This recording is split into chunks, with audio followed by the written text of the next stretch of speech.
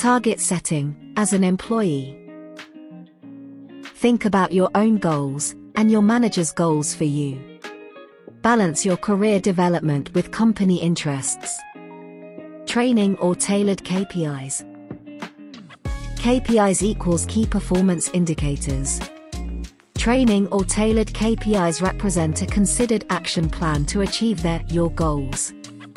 Work backwards from there, your goal to where you are now. Your manager should be able to provide some guidance. Performance management.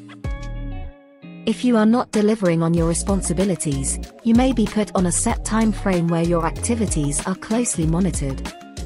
This is a time for troubleshooting.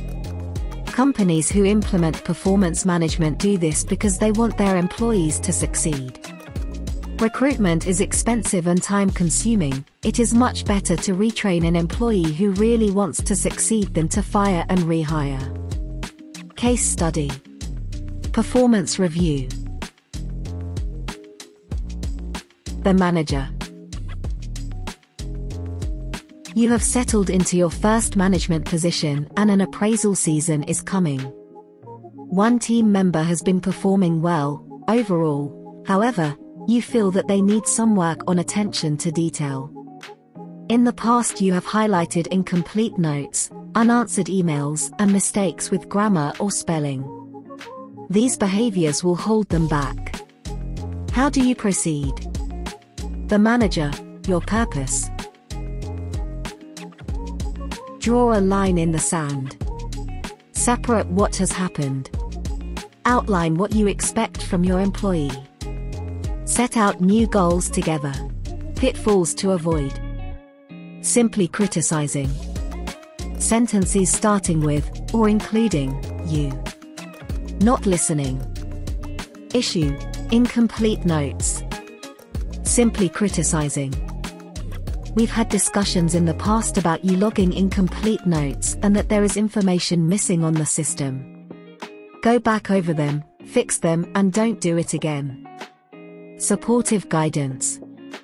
We've had discussions in the past about incomplete notes and missing information. To tackle this over the next four weeks, we'll be performing a random audit of 10 notes logged each week. This will be a short-term goal that we would like to see achieved. Incomplete notes, outcome after supportive guidance. The support and timeframe will help the employee to form a new good habit of logging complete notes, while forgiving any transgressions in the past. Issue, unanswered emails. Simply criticizing. I've had a lot of complaints about you not answering emails promptly and I've brought it up with you several times. You need to work on this. Supportive guidance. Let's take a look at some time management strategies so we can introduce time blocks throughout the day specifically dedicated to responding to emails. Unanswered emails, outcome after supportive guidance. The criticism assumes that the employee simply isn't bothering to respond, whereas the guidance gives them a strategy to ensure they can keep up. Spelling and grammar. Simply criticizing. You frequently misspell words and don't use apostrophes correctly. You really need to pay more attention to what you are writing.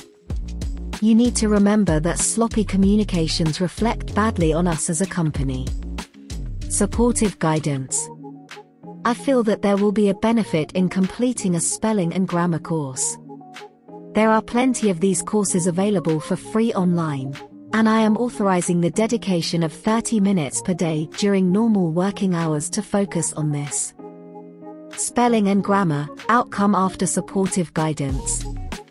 The criticism doesn't help the progression of the employee, whereas the guidance points them in the right direction and gives them time during their day to improve. It may not be directly contributing to the company's output, but will benefit the company in the long run as the employee will seem more professional to clients. Pitfalls to avoid, check. Note that in guidance the word you has been removed entirely. This is because you sentences put the other person on alert. In a performance review setting you is implied, so as a manager, you don't need to say it. This is a natural response that needs to be tempered by the manager. Check. Criticisms put the onus on the employee with no clear structure or support. Don't be Nike, just do it. Employees don't generally want to be underperforming. Guidance has a clear and measurable outcome. Good practices.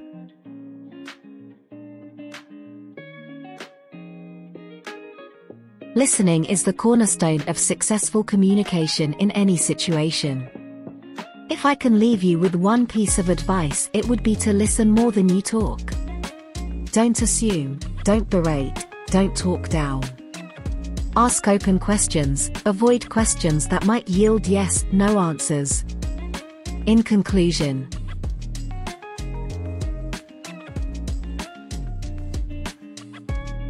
The most effective way to conduct a performance review is for the employee to identify areas where they need to improve. This is far more impactful than them just being told to do something by a manager. As a manager, you need to be an active listener. The key to an effective review lies in discussion.